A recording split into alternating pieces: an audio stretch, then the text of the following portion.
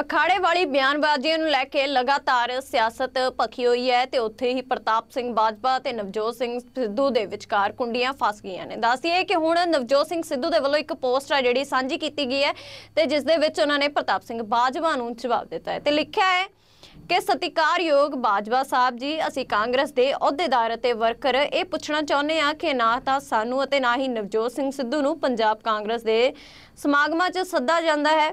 ਜੇ ਅਸੀਂ ਕਾਂਗਰਸ ਦੀ ਬਿਹਤਰੀ ਲਈ ਪਾਰਟੀ ਵਰਕਰਾਂ ਦੇ ਸੱਦੇ ਤੇ ਰੈਲੀ ਰੱਖ ਕੇ 8000 ਤੋਂ ਉੱਤੇ ਇਕੱਠ ਕੀਤਾ, ਤਾਂ ਸਾਡਾ ਹੌਸਲਾ ਵਧਾਉਣ ਦੀ ਬਜਾਏ ਸਾਨੂੰ ਮਾੜਾ ਕਿਉਂ ਕਿਹਾ ਜਾ ਰਿਹਾ? ਅਸੀਂ ਅਹੁਦੇਦਾਰ ਅਤੇ ਵਰਕਰ ਕਾਂਗਰਸ ਪਾਰਟੀ ਦੀ ਚੜ੍ਹਦੀ ਕਲਾ ਲਈ ਦਿਨ ਰਾਤ ਰੁੱਝੇ ਹੋਏ ਹਾਂ। ਪਰ ਸਰਦਾਰ ਨਵਜੋਤ ਸਿੱਧੂ ਨਾਲ ਨੇੜਤਾ ਕਰਕੇ ਸਾਡੇ ਨਾਲ ਪਾਰਟੀ ਵਿੱਚ ਪੱਖਪਾਤ ਕਿਉਂ ਕੀਤਾ ਜਾ ਰਿਹਾ ਹੈ?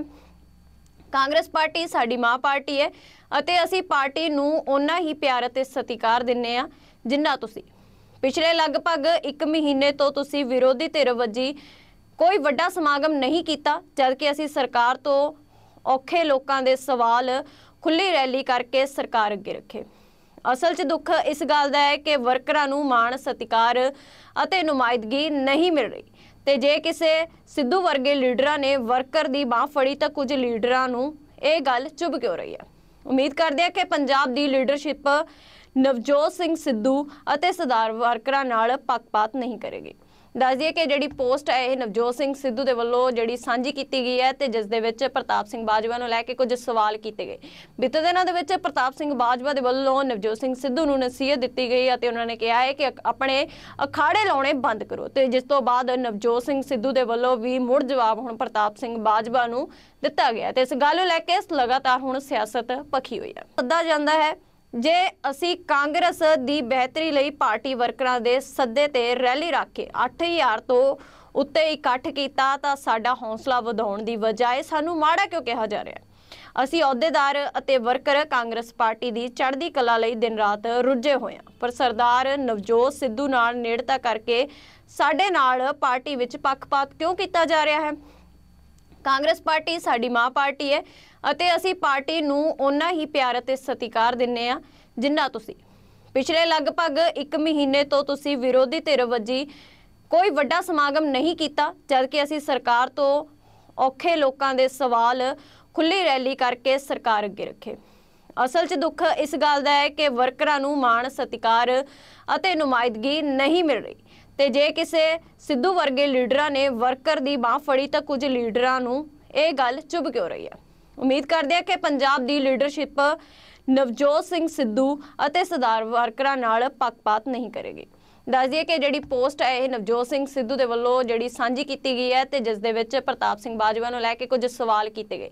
ਬੀਤੇ ਦਿਨਾਂ ਦੇ ਵਿੱਚ ਪ੍ਰਤਾਪ ਸਿੰਘ ਬਾਜਵਾ ਦੇ ਵੱਲੋਂ ਨਵਜੋਤ ਸਿੰਘ ਸਿੱਧੂ ਨੂੰ ਨਸੀਹਤ ਦਿੱਤੀ ਗਈ ਅਤੇ ਉਹਨਾਂ ਨੇ ਕਿਹਾ ਹੈ ਕਿ ਆਪਣੇ ਅਖਾੜੇ ਲਾਉਣੇ ਬੰਦ ਕਰੋ ਤੇ ਜਿਸ ਤੋਂ ਬਾਅਦ ਨਵਜੋਤ ਸਿੰਘ ਸਿੱਧੂ ਦੇ ਵੱਲੋਂ ਵੀ ਮੁੜ ਜਵਾਬ ਹੁਣ ਪ੍ਰਤਾਪ ਸਿੰਘ ਬਾਜਵਾ ਨੂੰ ਦਿੱਤਾ ਗਿਆ ਤੇ ਇਸ ਗੱਲ ਨੂੰ ਲੈ ਕੇ ਲਗਾਤਾਰ ਹੁਣ ਸਿਆਸਤ ਪਖੀ ਹੋਈ ਹੈ। ਸੱਦਾ ਜਾਂਦਾ ਹੈ ਜੇ ਅਸੀਂ ਕਾਂਗਰਸ ਦੀ ਬਿਹਤਰੀ ਲਈ ਪਾਰਟੀ ਵਰਕਰਾਂ ਦੇ ਸੱਦੇ ਤੇ ਰੈਲੀ ਰੱਖ ਕੇ 8000 ਤੋਂ ਉੱਤੇ ਇਕੱਠ ਕੀਤਾ, ਤਾਂ ਸਾਡਾ ਹੌਸਲਾ ਵਧਾਉਣ ਦੀ ਬਜਾਏ ਸਾਨੂੰ ਮਾੜਾ ਕਿਉਂ ਕਿਹਾ ਜਾ ਰਿਹਾ?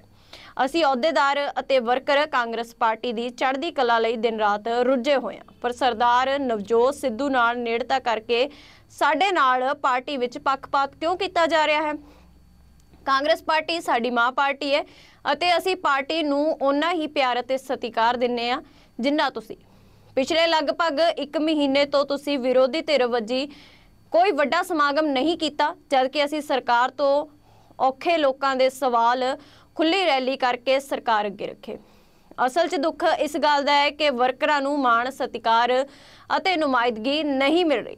ਤੇ ਜੇ ਕਿਸੇ ਸਿੱਧੂ ਵਰਗੇ ਲੀਡਰਾਂ ਨੇ ਵਰਕਰ ਦੀ ਬਾਹ ਫੜੀ ਤਾਂ ਕੁਝ ਲੀਡਰਾਂ ਨੂੰ ਇਹ ਗੱਲ ਚੁੱਭ ਕਿਉਂ ਰਹੀ ਹੈ?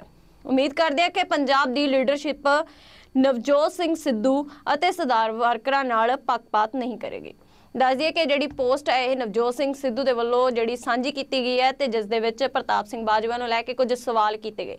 ਬੀਤੇ ਦਿਨਾਂ ਦੇ ਵਿੱਚ ਪ੍ਰਤਾਪ ਸਿੰਘ ਬਾਜਵਾ ਦੇ ਵੱਲੋਂ ਨਵਜੋਤ ਸਿੰਘ ਸਿੱਧੂ ਨੂੰ ਨਸੀਹਤ ਦਿੱਤੀ ਗਈ ਅਤੇ ਉਹਨਾਂ ਨੇ ਕਿਹਾ ਹੈ ਕਿ ਆਪਣੇ ਅਖਾੜੇ ਲਾਉਣੇ ਬੰਦ ਕਰੋ ਤੇ ਜਿਸ ਤੋਂ ਬਾਅਦ ਨਵਜੋਤ ਸਿੰਘ ਸਿੱਧੂ ਦੇ ਵੱਲੋਂ ਵੀ ਮੁੜ ਜਵਾਬ ਹੁਣ ਪ੍ਰਤਾਪ ਸਿੰਘ ਬਾਜਵਾ ਨੂੰ ਦਿੱਤਾ ਗਿਆ ਤੇ ਇਸ ਗੱਲ ਨੂੰ ਲੈ ਕੇ ਲਗਾਤਾਰ ਹੁਣ ਸਿਆਸਤ ਭਖੀ ਹੋਈ ਹੈ।